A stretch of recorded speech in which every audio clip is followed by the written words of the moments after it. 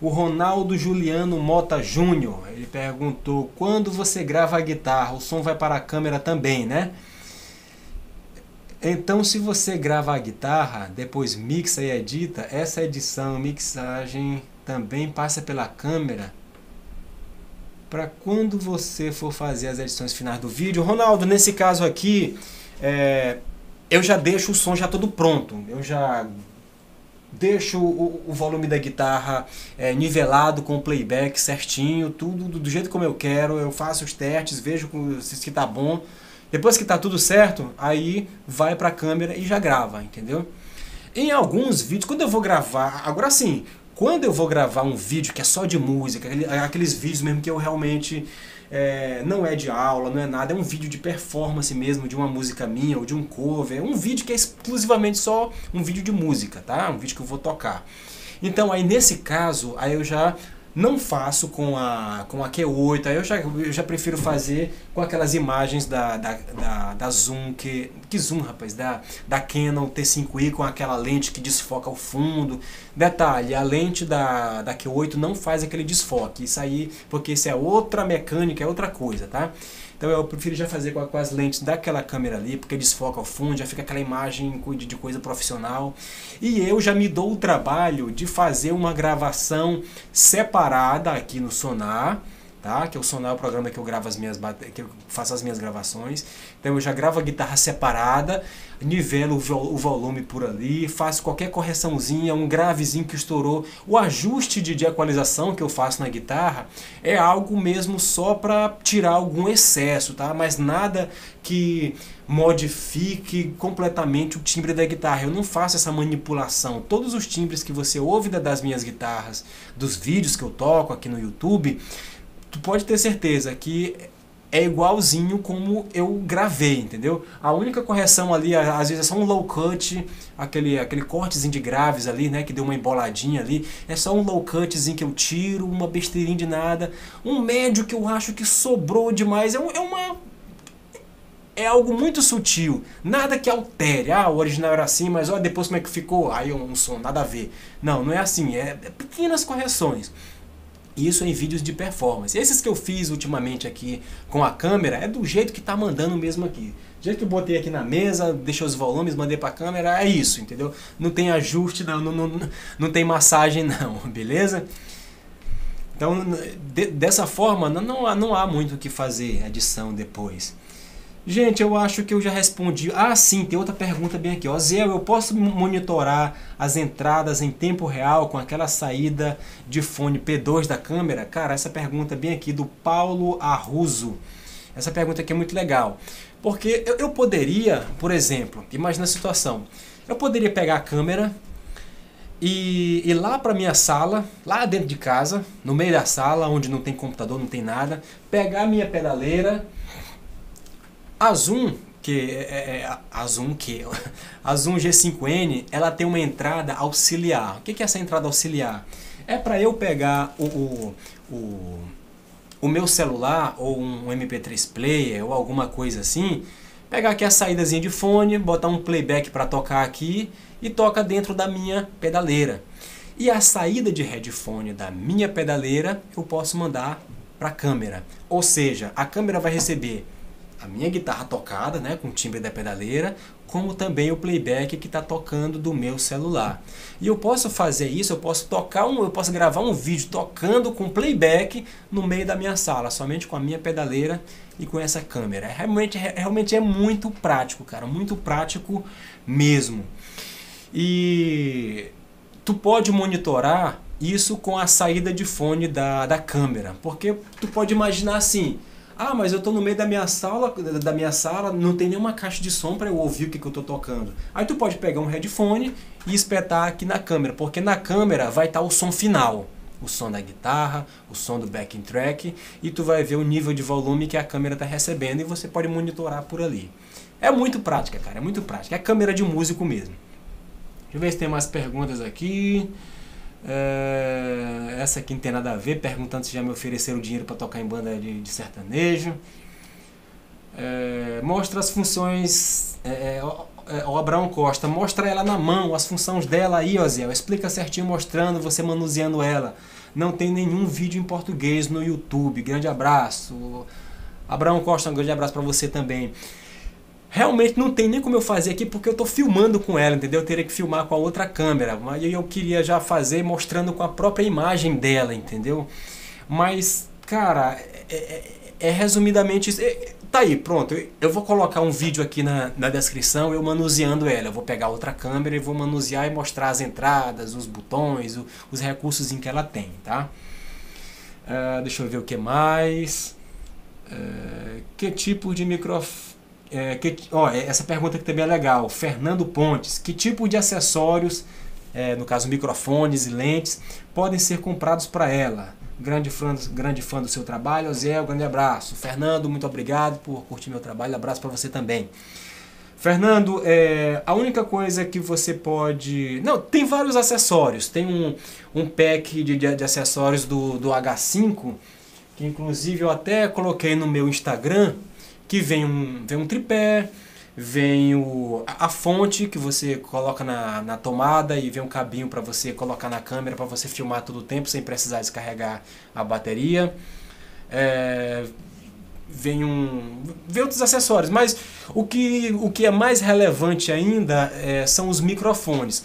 Todas as cápsulas do, dos microfones H5, H5, H4, H6, essas cápsulas aqui são compatíveis com a Q8, tá?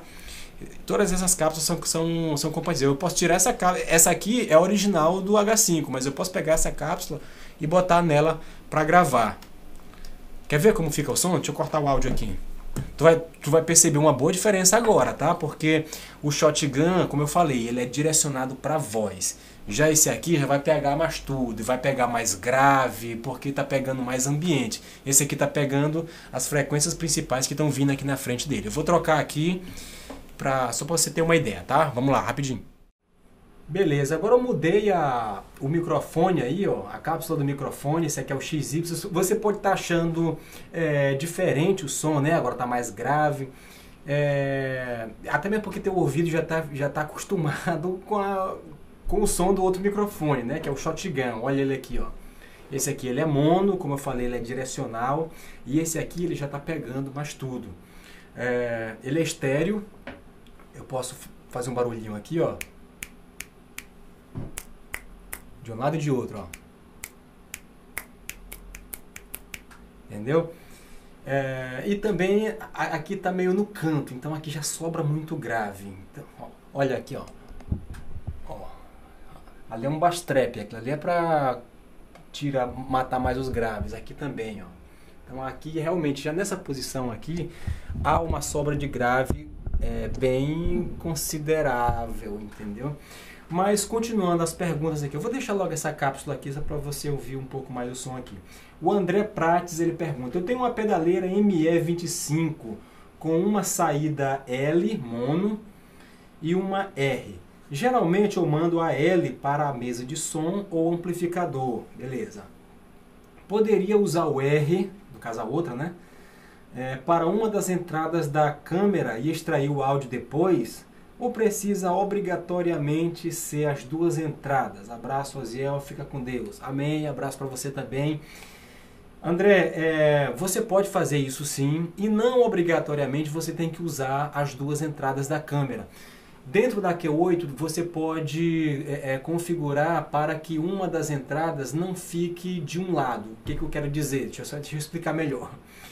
Essas duas entradas, é, ela é estéreo, né? uma para cada lado. Então se você colocar só uma, pode ser que toque só de um lado. Então você vai lá nas configurações da, da Q8 e, faz, e, e você coloca essa, é, esse canal para rodar para tocar no meio, tá? Assim ele não vai ficar tocando só de um lado, ele vai ficar central. Assim você vai ter um canal tocando no centro. E lá na sua pedaleira, o outro, a outra saída vai estar no seu amplificador.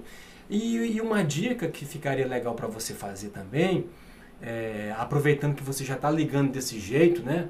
Que você vai ter o som da, da, da tua guitarra no amplificador e, e do mesmo jeito mandando uma, uma cópia né, para dentro da câmera, você pode utilizar o microfone é, LR da, da câmera para pegar a sobra do ambiente do seu amplificador ali. Isso se você estiver captando só a só a guitarra, né? Você pode fazer aquela mixagenzinha porque na própria Q8 ela já tem os potenciômetros do, do, do volume Detalhe, é o volume de entrada já da, do, do, do line-in, né? Desse que você pluga ali fora. Aí você pode nivelar ali uma, o, o volume. Ou pode utilizar a opção de exportar os dois áudios separados. Do, do, no caso, o microfone, né? Um board da câmera. E também o, o que você capturou por fora. Ele vai gerar duas waves. Teve um rapaz também que perguntou aqui, ó, eu procurei a pergunta dele aqui, mas não encontrei. Ele pergunta quais são as resoluções de áudio que a câmera grava. Ela grava em Wave até 96K, tá? 24 bits. Grava também em formato compactado. Deixa eu só olhar aqui na Q8, porque geralmente a Q8 é praticamente a mesma coisa da, da, da Q8 não, é a Q2, é praticamente igual a algumas funções da, da, da Q8. Deixa eu procurar aqui. Ó, o áudio 44.1, 16 bits, pode ser 48, 24 bits ou 96K, né, com 24 bits. Só para ter uma ideia, isso é aqui, ó, é, é aqui na, na na Q2, tá bem aqui do lado, não sei se vai dar para você ver direitinho. Aqui tá marcado, inclusive tá marcado bem aqui, é só ir apertando aqui que o áudio ele vai, ele vai mudando ali, ó. Tá vendo? Então grava nessas resoluções. E também tem umas, resolu umas resoluções compactadas, é como um MP3, entendeu? E lá você tem 256K, tem 128, tem 300 e alguma coisa. Eu utilizo a, a, a opção de 256K porque diminui o tamanho do arquivo. Se eu botar ainda como Wave, é, fica, vai ocupar mais espaço e eu vou ter menos tempo de gravação. Meu cartão aqui é de, de, de 8 GB, então dá para gravar uma hora, uma hora e meia, por aí assim. Vai depender também da resolução que você escolheu. Então dessa forma tá, tá ótimo para eu gravar. É, outra coisa, teve uma hora lá que o rapaz perguntou sobre os cartões de memória, né? Até quanto ele suporta. E eu, eu disse que até 128 GB suporta. Uma dica que me deram, que quem me deu essa dica foi um, um, fotógrafo. Na verdade, ele, além de fotógrafo, ele trabalha também com, com produção de vídeo. Ele é um cinegrafista, enfim. E ele me disse assim, porque eu estava querendo comprar um, um cartão de 64 GB. Ele disse, Oziel, eu não te recomendo muito tu comprar um cartão grande assim não, porque o que, que vai acontecer? Às vezes tu vai gravando, vai, fazer, vai armazenando material, e esses cartões geralmente eles dão pau, dão problema, e pode ser que teu cartão dê, dê algum problema quando tu tiver com muita coisa importante dentro, talvez tu tá na rua gravando alguma coisa. Se bem que ele me deu essa dica como se eu fosse um, um profissional como ele, né? que na verdade não é. Meus vídeos são só gravados aqui dentro mesmo. Eu já gravo, já descarrego aqui dentro pro, pro computador, já edito, mando pro YouTube. Então é, eu não tenho uma rotina de trabalho como ele tem, de ter muita coisa gravada ali, tá? Ah, vai filmar um casamento, então vai, tem muito material armazenando no, no, no cartão de memória. Não, é, é diferente. Mas é, realmente, se você vai gravar como eu estou gravando aqui, coisa pequena, então um cartão de 16 GB tá bom demais. Porque você grava, depois descarrega aqui no computador e tal, e não há necessidade de ter um cartão monstruoso, um cartão que é praticamente maior do que um HD, entendeu? Então é, é isso aí. Deixa eu ver mais aqui. É, faça um vídeo mostrando um lugar pouco iluminado, já fiz. Olha para que serve as duas entradas no fundo da câmera? Que no caso, no fundo da câmera, né, da Q8, tem, tem isso aqui, ó. Que no caso são as entradas de, de áudio externo, né? Que ele vai receber tanto o XLR como P10. É isso aí. Qual é a média de preço? E queria saber se você acha a pena, é, que, que você acha que vale a pena para um guitarrista que quer começar a gravar seus vídeos agora. Investir nessa câmera é o pergunta do Pedro Piraja. Pirajá, eu não sei, não tem acento, tá Piraja para mim aqui. Pedro, é, essa câmera está custando 2.499 no site da Royal. Tá o link aqui embaixo. E no Mercado Livre tu encontra ela de, por 3 mil reais. Então na Royal tá mais barato, apesar de você estar comprando diretamente do distribuidor, que é o importado, que, que é, que é a, a, Royal é quem traz a Zoom para o Brasil. Ela é importadora exclusiva da Zoom. E a Royal ainda vai te dar dois anos de garantia. Se der um problema, tu tem para quem reclamar, entendeu? É... No Mercado Livre, além de estar tá mais caro, aí não tem garantia nenhuma. Deu um problema, tu vai reclamar para quem? Já foi. Então, é... agora você pergunta aqui se, desculpa, se vale a pena para um guitarrista, ele botou entre aspas, eu, que quer começar a gravar seus vídeos agora. Agora, Pedro, olha, eu acho que é vantagem sim, cara, porque para você fazer um vídeo com uma, com uma qualidade de áudio legal, você vai ter que fazer alguns procedimentos mais complicados, como gravar o material é, de forma interna no seu programa de gravação, depois você vai ter que fazer a sincronia do vídeo da câmera com o áudio que você gravou, isso no programa de edição, então isso realmente é mais cansativo. Para quem é um profissional de edição de imagem, é um processo, é um processo de certa forma até simples, entendeu? Mas não deixa de ser chato, de toda vez ter que fazer aquilo dali. E se a tua câmera ainda for ruim, tem um problema dela perder é, alguns é, frames, né? eu não sei exatamente o termo, mas o que acontece é que, por exemplo, já aconteceu isso comigo, principalmente fazendo imagem de celular. Celular é danado para fazer isso. Você grava um vídeo, digamos, de 5 minutos e também gravou o áudio é, paralelo aqui no, no, programa de gravação. Só que no, no, no celular, quando você vai sincronizar com o áudio que você gravou aqui no, no computador, ele começa certinho, mas do meio para o fim ele começa a perder a sincronia. Ele se perde. E é algo do celular. Varia, agora também varia de celular para celular. Então eu recomendo realmente você ter uma boa câmera para fazer suas imagens. Porque sempre você vai ter problema. E é uns probleminha chato, entendeu? Acontece isso também com placa de som ruim, interface de som ruim, ela perde o sync com o decorrer da gravação. Então eu acho que compensa sim, você vai ter uma boa câmera com uma boa qualidade de gravação de áudio aí durante um bom tempo. Você não vai ter problema de gravação é, de vídeo e áudio aí por um bom tempo, tá? Ah, continuando aqui. Você é minha inspiração. Quanto custa? Então, é, é o canal Underground Música, Arte e Poesia. Um abraço aí pra galera do canal. Então, quanto custa? Eu acabei de, de, de falar o preço, né? Tá 2.400 no, no, no site da Royal. E eu só esqueci de dizer que tem um cupom de desconto, que além de você comprar mais barato ainda, comprando direto com o distribuidor e ainda ter garantia de dois anos, você ainda vai ter o meu cupom de desconto. Você vai colocar lá Ozielzinho e vai, é, você vai ganhar 10% de desconto. E a galera que comprar com o meu cupom de desconto vai ganhar um curso de edição de vídeo. É um curso meu, é algo que eu estou dando, entendeu? É algo que eu mesmo estou dando para você. A galera da Royal vai me passar o e-mail da galera que comprou com o meu cupom, só quem comprar com o meu cupom, tá? Aí eu vou liberar o acesso para esse curso de edição de vídeo. Você vai aprender a editar no Adobe Premiere, vai fazer é, vai aprender a fazer sincronia de áudio, se bem que com a Q8 você já não vai ter mais esse problema, já vai pular esse, esse passo. É, correção de cores, é, fazer simulação de multicâmera, mesmo você tendo só uma câmera, é, caracteres, efeitos, efeito de cinema, para ficar com aquela imagem meio esverdeadinha, assim, tipo cinema. Eu, eu passo muito macete legal. Então, é, eu, eu, espero que eu tenha respondido tudo quanto era de pergunta a, a respeito de, dessa câmera. Eu vou fazer depois um vídeo com ela na mão, mostrando o que, que ela tem de recurso. É, eu, eu acho que é importante, porque eu estou fazendo com ela aqui, né? Porque eu quis dar para mostrar a imagem e tudo.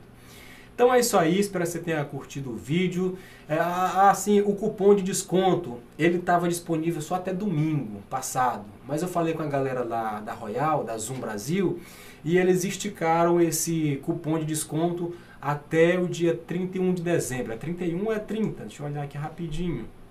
Tô vacilando. Até o dia 31 de dezembro de, de, desse ano, né? 2007. Então aí dá pra galera se preparar, para ajeitar o orçamento aí para pegar um produto, aproveitar que o preço tá bom. teve um rapaz que me perguntou, Zé, eu entrei lá no site, mas eu não encontrei pedaleira nenhuma para vender. Eu falei com o pessoal da Royal e perguntei por que, que não tinha pedaleira. Eles disseram, não, Zé, porque as pedaleiras já foram todas vendidas para as lojas. Então só tem em loja. Na Royal lá não tem. Então o que tem no site da Royal são produtos que não tem em loja. São produtos é, realmente mais exclusivos. Exclusivo não, estou dizendo exclusivo na falta da melhor palavra, mas são aqueles produtos assim que são importantes, que são interessantes, mas que muitos lojistas não entendem. Ah, comprar filmador, isso aí ninguém compra isso aí. Mas a galera não sabe, não sabe o, é, realmente a, a, real vantagem de, de um produto como esse. Câmera por câmera, realmente tem muitas. Até com imagens, eu poderia até dizer câmera, câmeras com imagens melhores do, do que essa câmera aqui. Agora, para resolver os problemas de som e, e, e vídeo, realmente eu acho que como a Zoom não tem, cara. Inclusive, para quem tem câmeras como aquela ali, como a Canon, aí a solução é o H5, porque aí você vai ter um microfone como esse e vai ter também entrada externa aqui. Vai ter efeito de compressão, de nivelamento de volume, tem uns volumes aqui, é, o volume dos canais, ele pode gravar somente nele. Nossa, tem muitas funções. Então, para eu ter esses recursos da, da Q8 ali na minha Canon, para eu ter as imagens da Canon, mais os recursos de áudio da, da Q8, eu precisaria de do, no mínimo de um H5, entendeu? Então realmente são recursos que dono de loja não entende, entendeu? E muitas vezes até as pessoas não são informadas, não sabem que existe isso. E acaba tendo trabalho demais na hora de editar vídeo e por aí vai. Cara, eu tô falando muito, muito obrigado por ter assistido o vídeo até aqui, espero que você tenha curtido. Qualquer dúvida extra, escreve aqui que na medida do possível eu vou responder, tá? Abração, valeu!